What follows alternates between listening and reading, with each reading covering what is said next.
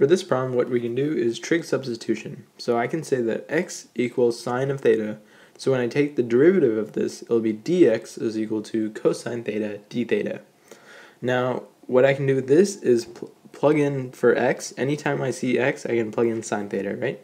So it'll be right here, 1 over 1 minus, since it's x squared, I can plug in sine theta squared, and then to the uh, 3 half power.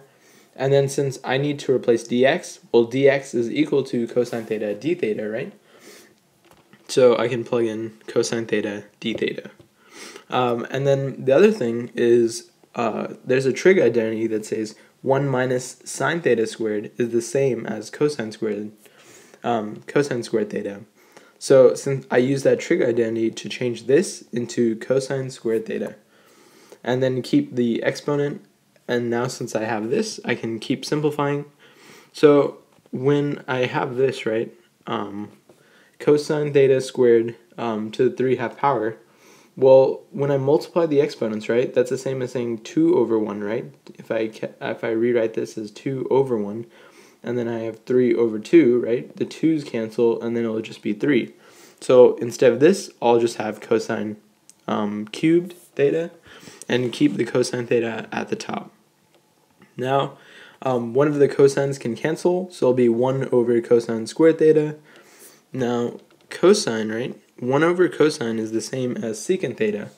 So that'll become secant theta squared d theta. And then when I take the in integral of secant squared theta, that's the same as tangent. And then don't forget the plus c. The thing is, we're still not done because um, the original equation had the variable of x, and then we did the trig substitution. So we have to convert it back into the x form. So we'll use this equation to do that. So for this equation, right, we said that x is um, x is equal to sine theta, right? x is equal to sine theta. That means that sine is opposite over hypotenuse, right? So you can imagine it as x over 1. So sine, since it's opposite over hypotenuse, that means that x has to be opposite, and the 1, right, x since it's x over 1, will be hypotenuse, right? So the x will be the opposite, and the 1 will be hypotenuse. That means when we draw a triangle, right, the x will be the opposite, right, and the hypotenuse will be 1. I'll write it one more time just so you get it down. Um, so, so x, right, x over 1 is equal to uh, sine theta. And so sine, right, is equal to opposite over hypotenuse. That means that x will be opposite and 1 will be hypotenuse. So when we draw our triangle, um, x will be opposite and the 1 will be the hypotenuse. So here, the opposite is x and the hypotenuse will be 1. Now since we have two of the sides, we can do Pythagorean theorem to get the adjacent side. And the adjacent side we find is square root of 1 squared minus x squared.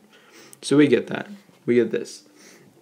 So why did we do all that? Well, because we need to change this tangent into a um, x form, right? So what is tangent in this case? Tangent is opposite over adjacent. So opposite over adjacent, that means to substitute tangent, um, we'll do uh, opposite, which is x, over adjacent, which is square root of 1 minus x squared plus c. So all I did was just use, um, since we did trig substitution originally, we have to change it back into this form. And this form we derived would be tangent over opposite over adjacent. So it'd be x over, because it's opposite over adjacent, which is uh, x over square root of 1 minus x squared. And then uh, don't forget the plus c, um, because that's important. So I hope that helped, and thanks for watching.